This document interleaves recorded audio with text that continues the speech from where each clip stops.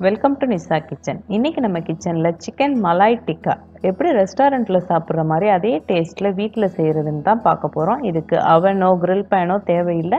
Fry pan இருந்தால் போதும். சூப்பராக செஞ்சிடலாம். வாங்க இதை எப்படி செய்கிறதுன்னு பார்க்கலாம். இங்கே நான் வந்துட்டு இன்றைக்கி எழுநூற்றம்பது கிராம் சிக்கன் எடுத்திருக்கேன். போன்லெஸ் சிக்கன் இந்த மாதிரி மீடியம் சைஸ் பீஸாக கட் பண்ணி வச்சுக்கோங்க. இதை மேரினேட் பண்ணுறதுக்கு ஒரு பேஸ்ட் ஒன்று ரெடி பண்ணிடலாம். இங்கே நான் மிக்ஸி ஜார் எடுத்திருக்கேன். அதில் ரெண்டு பச்சை மிளகா சேர்த்துக்கோங்க. ஒரு கைப்பிடி மல்லிக்கீரையை அலசி எடுத்துக்கோங்க. சேர்த்து தண்ணி ஊற்றாமல் ஒரு பேஸ்ட்டாக அரைச்சி எடுத்துக்கோங்க. இப்போ அரைச்ச பேஸ்ட்டை சிக்கனில் போட்டு ரெண்டு டீஸ்பூன் இஞ்சி பூண்டு பேஸ்ட்டு போட்டுக்கிட்டு ஒரு டீஸ்பூன் மைதா ஒரு டீஸ்பூன் கார்ன்ஃப்ளவர் இது எல்லாத்தையும் போட்டுக்கோங்க. தயிர் இங்கே ஒரு டேபிள் ஸ்பூன் மாதிரி எடுத்திருக்கேன். திக்கு தயிர் எடுத்துக்கோங்க. அப்படி இல்லை அப்படின்னா இந்த மாதிரி ஒரு ஸ்ட்ரெயினர் வச்சு ஸ்ட்ரெயின் பண்ணிவிட்டு அந்த தயிரையும் இதில் சேர்த்துக்கோங்க. ரெண்டு டீஸ்பூன் க்ரீம் சீஸ் எடுத்துக்கோங்க.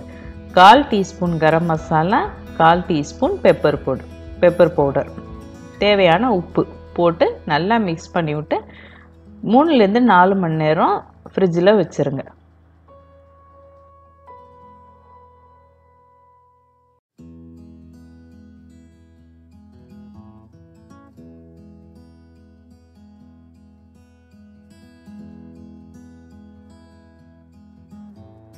இப்போ இதை நம்ம ஃப்ரிட்ஜில் வச்சிடலாம் ஃபோர் ஹவர்ஸ் கழித்து எடுத்து நம்ம ஃப்ரை பண்ணிடலாம்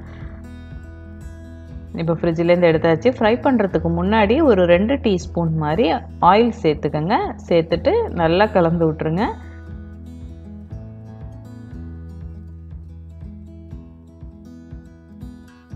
இப்போ நம்ம ஸ்கியூவரில் சிக்கன்லாம் கோத்துடலாம் இந்த மாதிரி ஒவ்வொரு சிக்கன் பீஸாக எடுத்து கொஞ்சம் ஸ்பேஸ் விட்டு விட்டு கோத்துக்கோங்க.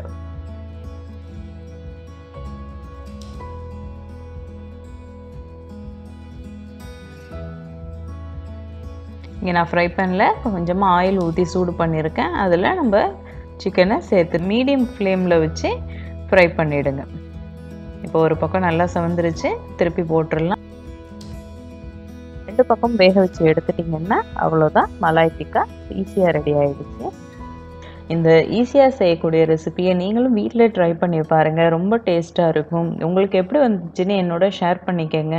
உங்களுக்கு இந்த வீடியோ பிடிச்சிருந்துச்சுன்னா என் சேனலுக்கு சப்ஸ்கிரைப் பண்ணுங்கள் வேறு ஒரு நல்ல ரெசிபியோடு நான் உங்களை மீட் பண்ணுறேன் தேங்க்ஸ் ஃபார் வாட்சிங் பாய்